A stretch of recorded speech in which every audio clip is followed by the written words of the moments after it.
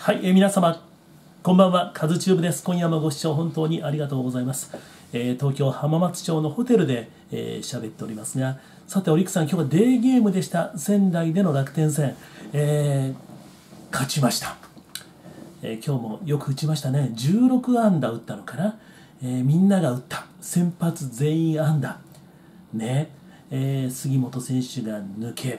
森選手を故障でかき。という状況でまあ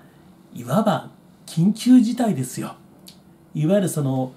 飛車角が今いない攻撃のねその中で、まあ、大役も含めてみんなが今日は頑張って、えー楽天のピッチャー陣に向かっていった結果の勝利、えー素晴らしい勝利だと思います、まあ、本当にあのはっきり言って、まあ、逆境でありピンチだと思うんですよ。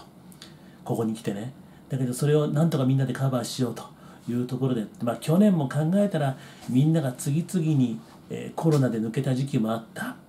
でね吉田選手も足を痛めていない時期もあった。で、まあ、そういう時期をみんなでカバーし合って最終的には、えリーグ優勝日本一まで行けたわけですから今ここ頑張っておけばというところもあるしで逆にえそこで今飛車角がいないと言いましたけどもそこに一つの、えスペースが空くわけですからそこに入る入っていく余地が他の選手にはあるわけですよね。でそこでその競争というところで言うとそのチャンスを誰が掴んでいくのかと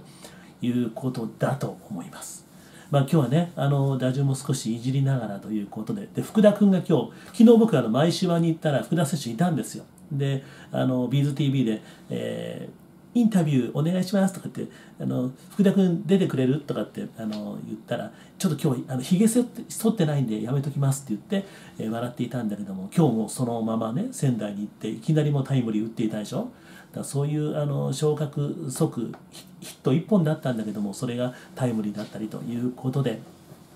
本当みんなが頑張ってる、ね、あの結果ですよね。茶野君が今日1番に入って2番に福田君が入ったんで3番啓太変わらずに4番シュウィンデルで5番に宗君が入って6番トングーという、まあ、そんな、えー打順でありました。でゴンザレスが7番に入って2戦連発ですよ。で今日8番にスタメンマスクは若月君ね、えー森君が離脱という中で、まあ、当然、あの若月君に対するかかる負担っていうのは大きくなってくるけどもでもある意味チャンスだよね。今まで森君が出ていた試合を自分がマスクをかぶるわけなんでで昨日そこで、えー宮城投手を素晴らしいリードで完封に導いた。で今日も田島君のボールを受けて素晴らしいリードをした。で、えー最初もタイムリーツーベースかな。あそこね若月君が打った。これも大きいんですよやっぱり。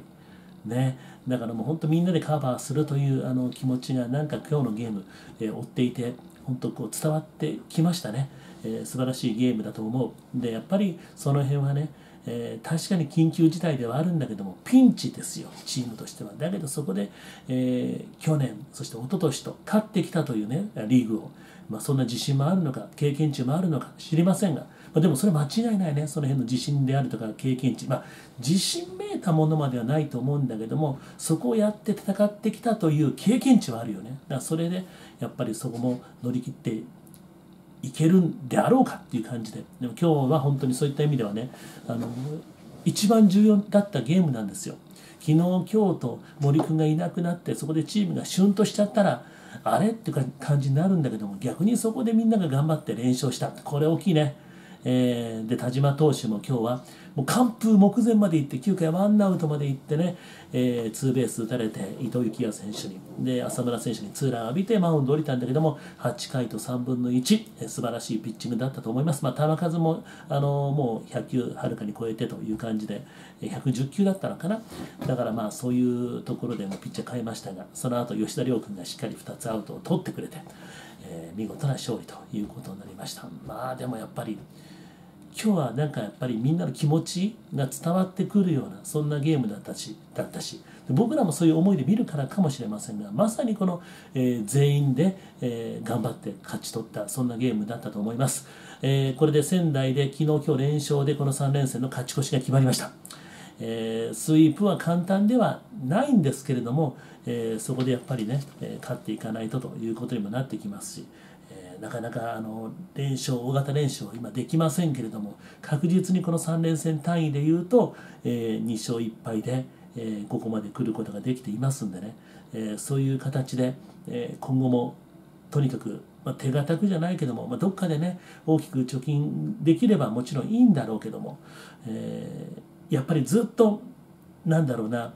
えー、連勝もできるわけじゃないしね。ずっと調子がいいわけでもないし、えー、どっかでこう波が来る。でもね、あの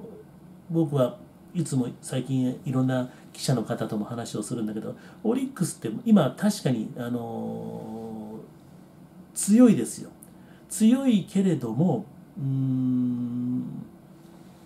そんなに絶好調って感じじゃないじゃない。まあ、みんなよく打ってくれてはいるんだけどもピッチャー陣も完全ではないしね。だけどその絶好調じゃない状況でこの位置にいられる。しかも主力がどんどん抜けていっている中でみんなでカバーし合ってるところになんか、えー、ちょっと不思議な感じのオリックスの強さを感じているということになりますね、えー、さあ明日は黒木君が先発のマウンドと